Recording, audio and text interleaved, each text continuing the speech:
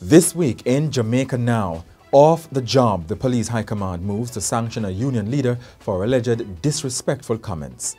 I have not seen the man nor woman that is going to lead me into fear so that I will retreat from doing what the membership have asked of me to do.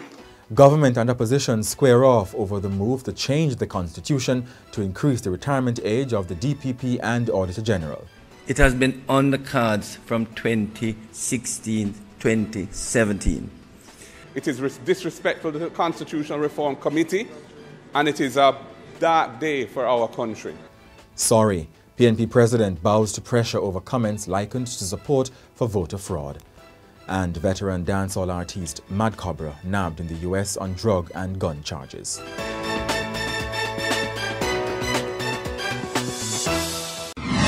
I'm Jovan Johnson and this is Jamaica Now. All eyes are on rank and file members of the Jamaica Constabulary Force JCF and how they will respond to the suspension of their union leader Corporal Rohan James by the Police High Command. Corporal James, the chairman of the Jamaica Police Federation, which represents cops up to the rank of inspector, was interdicted this week for comments made on July 15 that the senior leadership of the JCF claims were disrespectful, unprofessional and unfitting of his office and rank. The comments came as Mr. James criticized the JCF leadership over a long-standing overtime pay dispute at a funeral for a former colleague. I also want to say to our High Command and Councils of Deputies that the Federation is not going to be muzzled, intimidated, nor bamboozled. We negotiate with government, not with High Command.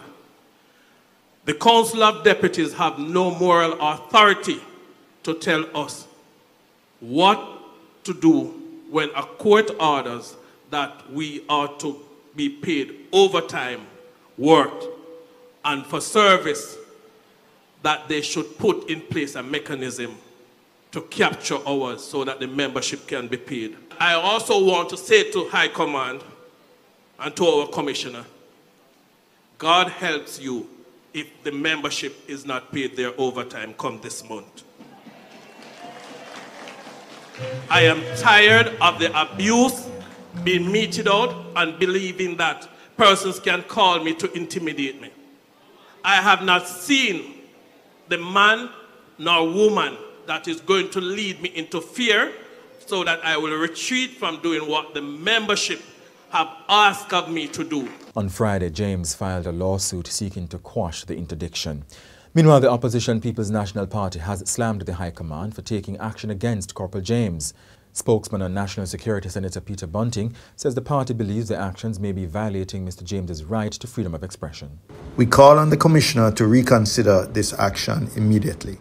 Corporal Rohan James, as the head of the Police Federation, has not only the right but also the duty to advocate for the welfare and interests of his fellow police officers.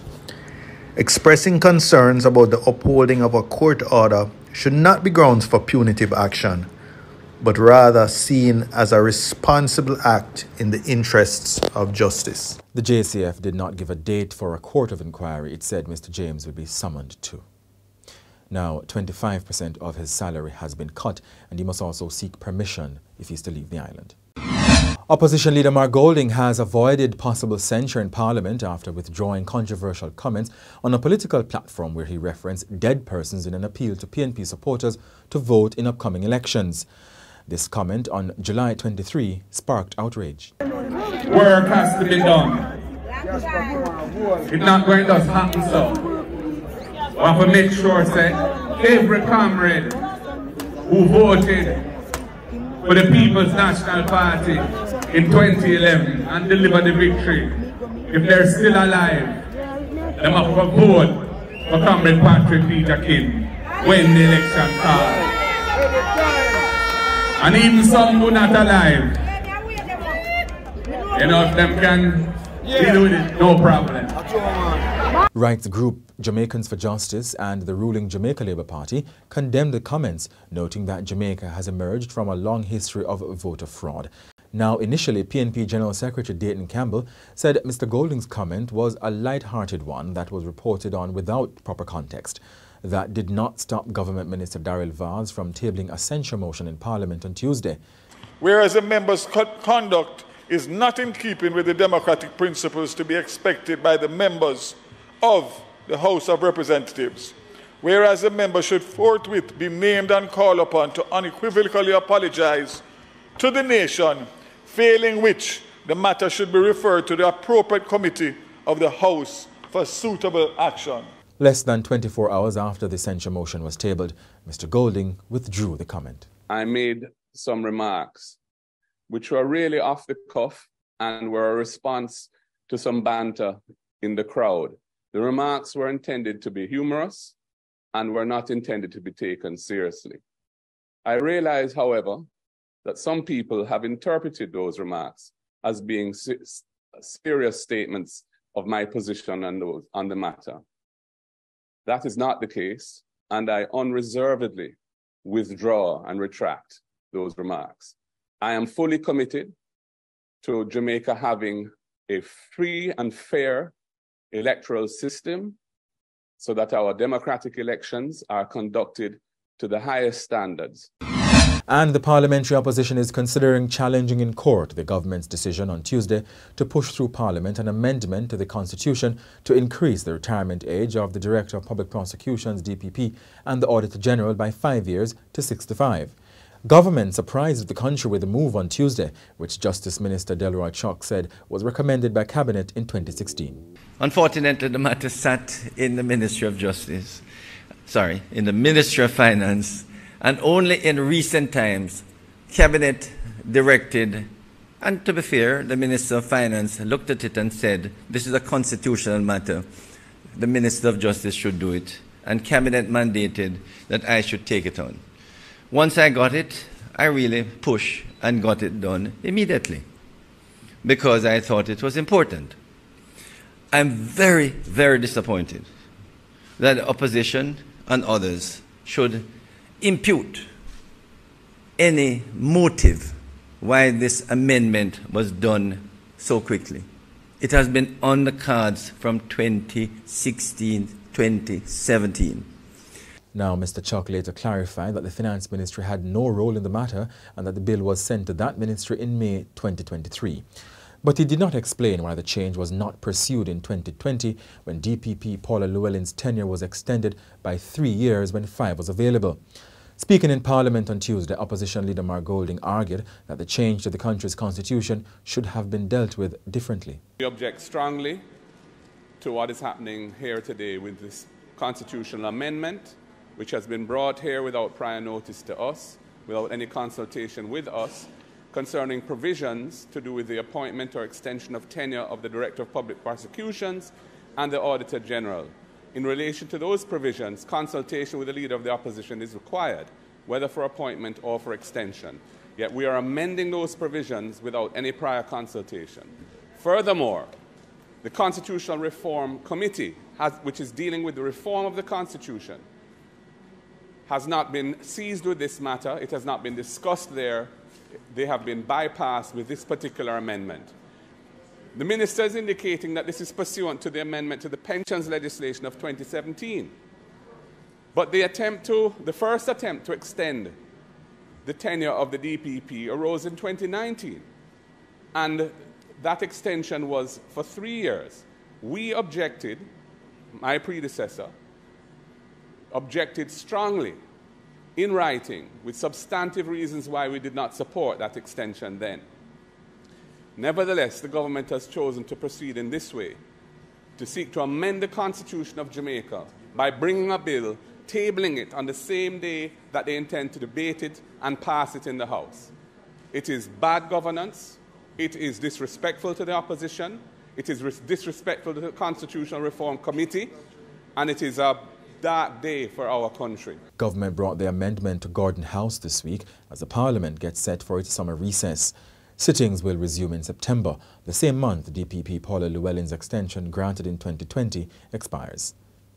Now, as the Senate debated the bill on Friday, news came that Senior Deputy Director of Public Prosecutions Cathy Ann Pike wrote to Prime Minister Andrew Holness urging him to halt the voting on the amendment and cause an investigation to be launched into the operations of the office of the DPP.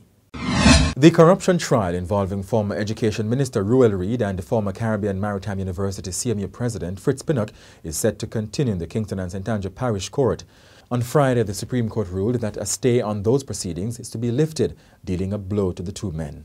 They were seeking to quash Chief Parish Court Judge Chester Crooks' ruling that they have a case to answer in the multi-million dollar fraud matter. The men failed to convince the Supreme Court that the judge's decision to remove himself from the case because he was a student while Mr. Reid was head boy at Munro College meant that the judge had a conflict of interest. Foreign Minister Kamina Johnson-Smith says a clerical error at the Jamaican embassy in the U.S. resulted in Prime Minister Andrew Holness not being given diplomatic privileges at an airport in Florida recently. She said Mr. Holness was not subjected to a search or asked to remove his jacket or shoes, as had been rumored. Jamaica and the U.S. have played down reports of a diplomatic row over Jamaica's refusal to acknowledge a U.S. policy for persons in same-sex unions to be given diplomatic immunity. Jamaican law does not recognize same-sex unions. Dwight Bingham, the man who pleaded guilty to the January 2021 murder of former banker Angelo Garwood at a church, was sentenced to 45 years in prison this week. Mr. Bingham, who is of a Rose Heights address in Montego Bay, St. James, confessed to being paid $700,000 to carry out the hit on Mrs. Lowe-Garwood, who was reportedly locked in a property dispute with relatives of her late husband. The main witness against Mr. Bingham was Leon Hines, the getaway driver who is serving a six-year sentence after pleading guilty to his part in the crime. The man who investigators had accused as the mastermind behind the killing, Javon Garwood, Mrs. Lowe-Garwood's stepson, was freed after Mr. Bingham refused to testify. And in another high-profile case this week, a jury on Thursday found St. Mary laborer Andre Thomas guilty of the brutal killing of two American missionaries in 2016. 47-year-old Randy Hentzel and 53-year-old Harold Nichols were found dead in St. Mary between April 30 and May 1, 2016. The 22-year-old convict will be sentenced on October 13. Veteran dancehall artiste Mad Cobra was released on bail in the U.S. on Wednesday, a day after being arrested and charged in South Carolina for alleged cocaine and gun offenses. American authorities say the 55-year-old was stopped for speeding, but a search of his BMW SUV resulted in the discovery of 2 kilograms of cocaine and a Beretta 9mm pistol. And that's it for this edition of Jamaica Now, your weekly review of the big news stories. Send us your comments at onlinefeedback at gleanerjm.com. Follow us on Twitter and Instagram at Jamaica Gleaner and on Facebook at Gleaner Jamaica. Like this video on our YouTube page, turn on your notification and subscribe today. I'm Jovan Johnson and before we go, Justin Wong and Michaela Morris are seeking your help for their two-week-old baby, Harmony. Let's hear why. Our daughter, Harmony Wong, she is admitted here at the Cornwall Regional Hospital in Montego Bay, St. James, where she is getting supportive care.